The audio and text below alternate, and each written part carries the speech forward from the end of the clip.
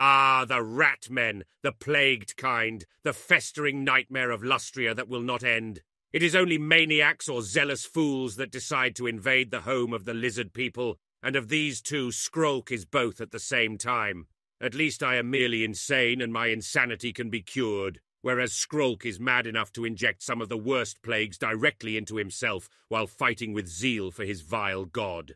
This kind of thinking is why the rats have never taken over the world, despite all their attempts at doing so. Still, he does have a mighty army and potential allies close by to aid him, if he can rescue them from the vast hordes of lizards that will descend on them.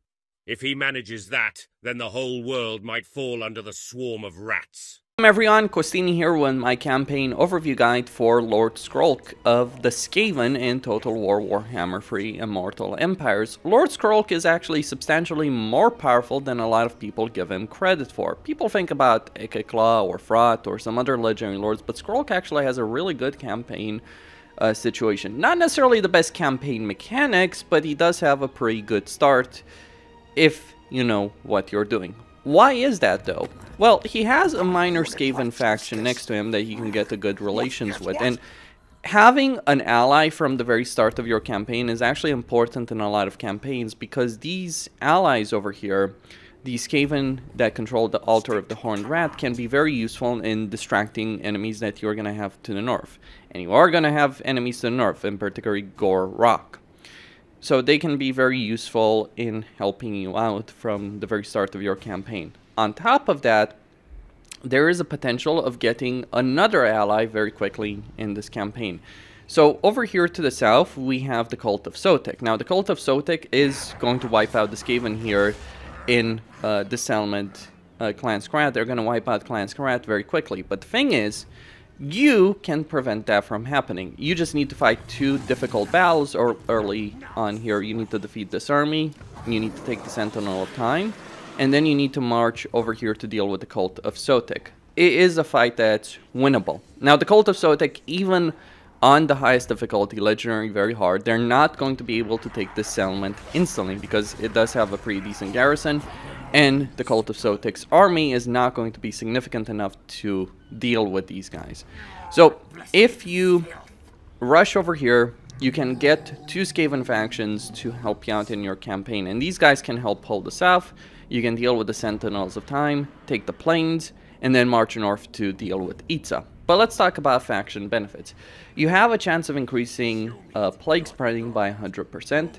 Plagues bolster your forces and nurture your settlements you get the construction cost benefit for uh, for the main plague buildings, or rather for the building chain that is related to plagues uh, for uh, for the Skaven. So specifically, what we're talking about here is the Pox Cauldron and the Plague Abbey.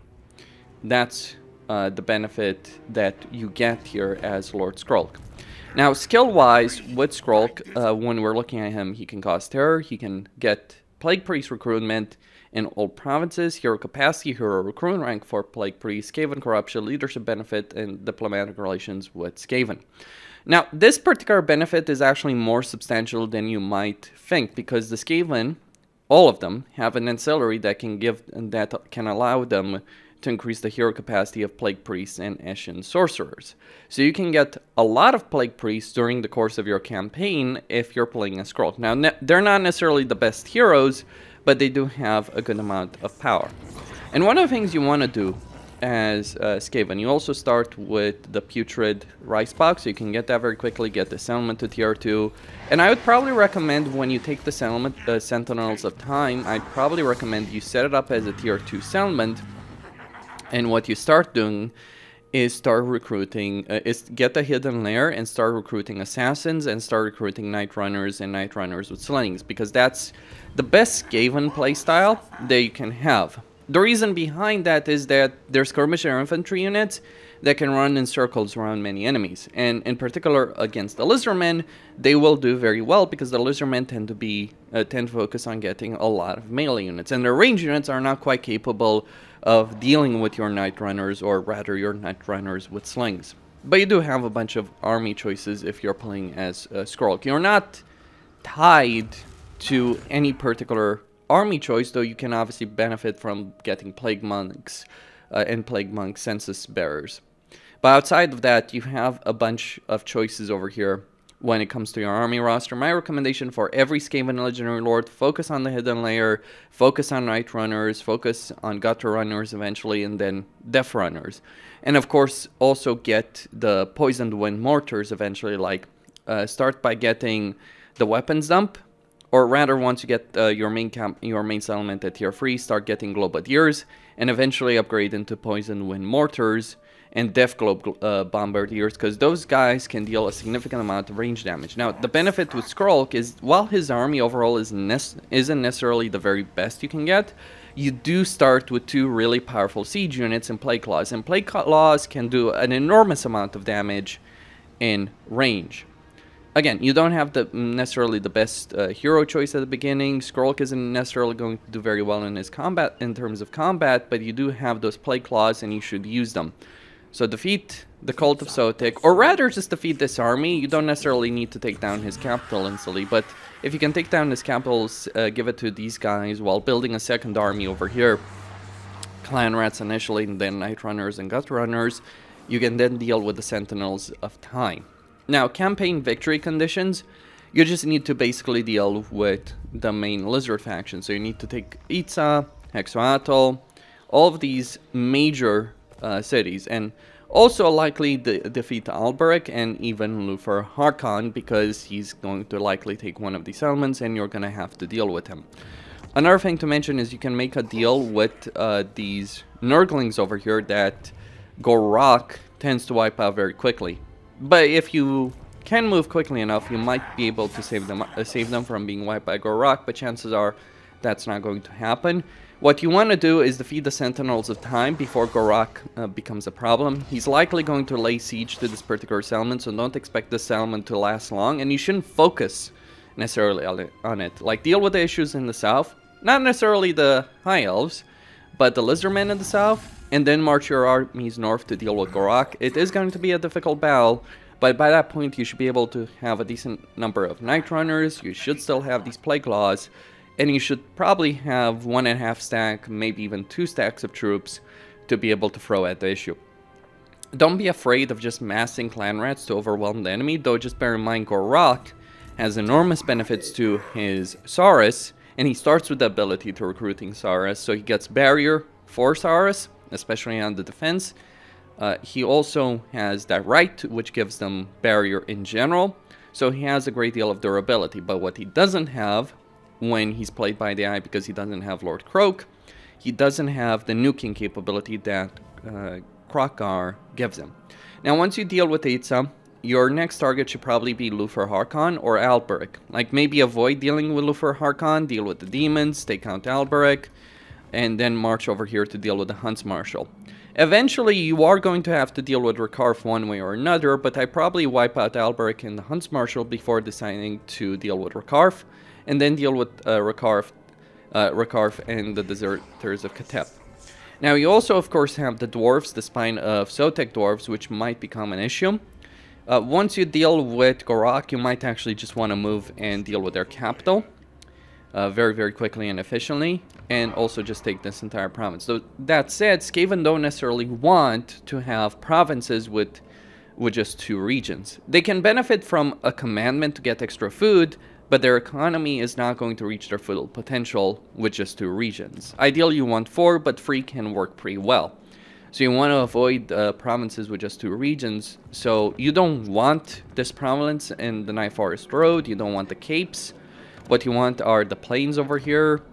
Um, the plains, the Lost Valley, Itza itself, uh, in the river, the mosquito swamps, of course, these other provinces, but the provinces with just the two settlements, like the Headhunter Jungle, the Volcanic Islands, those should go for like for your allies, and you should try and keep them alive. Though, if you're expecting these minor Skaven to achieve much in their campaign, don't necessarily be surprised when they do end up losing their stacks again and again and again. Even major Skaven factions, when controlled by the AI on the highest difficulties in the game, do tend to get wiped out. So Throt generally loses, uh, all the other Skaven tend to lose. And that might be something that dictates the course of your campaign over here, because you do have the ability to take uh, sea route over here. Or a bit further north, there, there's uh, another one, but you do have some sea lanes that you can go use to go into Cathay and maybe help, um, uh, maybe help uh, Master Snikch before he gets wiped out because he can give you a lot of value in your campaign. Or you can ignore Snikch or maybe help him out with like a secondary or third, uh, third army. Or you can ignore that and just start heading over here, take Sartosa, and then try heading into the Badlands to help Queek before he gets wiped out. Now you won't be able to help Throt, and you may not be able to help Clan Rictus, but you can help. And Keklado, his survivability tends to be pretty good in a campaign. That's because of the enormous garrison that Skaven Blight itself does have, even as a tier 1 settlement, and Ikit Claw is certainly going to grow very, very quickly. Well, though he does tend to lose in the long term to Belegar and other factions that do swarm around him. But it's Queek that is vulnerable. It's uh, eventually... Like, Queek is the most vulnerable. Snikch is then vulnerable, and Clan Rictus is also very vulnerable under Tretch Craventail. I don't think I've seen a campaign on Legendary very hard whether Tretch actually managed to survive against all the factions that are arrayed against them. But then again, Tretch doesn't really matter. His settlement is the real valuable part because it has the Richter's Great Clan Hall. So in the long term, you might want to take that for the benefits that you do have. Now, one of the things I would probably advise is to set up some undercities in certain parts of the campaign map they don't care about. So if you can set up some undercities in Ulthuan via heroes, specifically by doing the Scheme of Doom, sending a Warlock Engineer, setting up an undercity, uh, then you can gain some a significant amount of food over here. And the thing about Ulthuan is it's very unpleasant climate, or rather uninhabitable climate.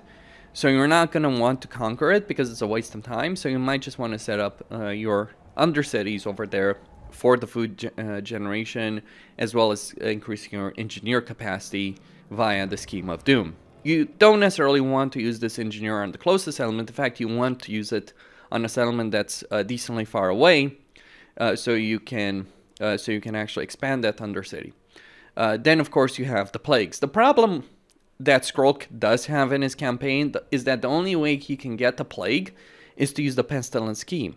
Now, the issue with, with it is it's not necessarily the best way of, of spreading plague. I would say Skrolk would really benefit for from having at least some of the Nurgle mechanics. Maybe not the whole plethora of abilities that Nurgle has, but at least to a certain extent, or maybe his own unique plagues, that would really work in his campaign. Because the Pestilence Scheme is a powerful plague, it will do a lot of damage, but it is difficult it can be difficult to spread it to your own settlements, which actually do want uh, to have. In fact, you would want to have some minor plagues of Nurgle just to get the faction benefits that you get from plagues uh, in general. But that's your campaign situation. Yeah, just defeat this army of the Sentinels of Time, take the Sentinel of Time, um, or the Southern Sentinels, take the Sentinel of Time, and then march south very quickly to defeat the Cult of Sotek before they wipe these guys out. It is achievable on Legendary if you move very quickly, and then after that you'll have two allies available very quickly in your campaign, and you can